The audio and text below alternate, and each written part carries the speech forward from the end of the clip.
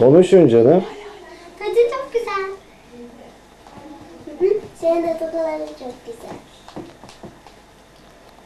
Melek çalışıyor, işi, işini bitirdikten sonra ben de oynuyor. Onunla ama Melek git Melek gittiği zaman ben de yalnız başıma oynuyorum. Bak resimlere. Konuşun, konuşun. Bitir. Bak resimlere aynı Evet. Benim.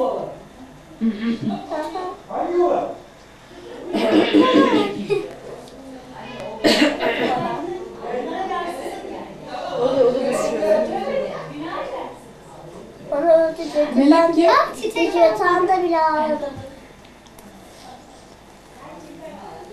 İdil Melek kim? Melek bizde çalışan bir kadın. Bir şey işini bitirdiği zaman ben de oynuyor. Ama ona da çok sinir oluyor. Neden?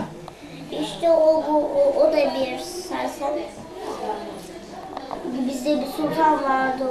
O, o, o, o, çok şöyle iyiydi o. Bak e, televizyona. Evet görüyorum. Ne olmuş televizyona? Gördün mü? Evet gördüm. Ne güzel. Evet ne güzel. Görüyorum. Televizyonun yanında bunlar var. Hadi bunları görmüyorum. Bak orada. evet gördüm. Bak orada da saat var. Evet herhalde görüyorum. Neyle oynuyorsun? Ben mi? Bebeklerim var, onunla oynuyorum. Bir de melekle oynuyorum. Barbie'm var mı? Benim dört tane Barbie'm var ama erkeğim yok.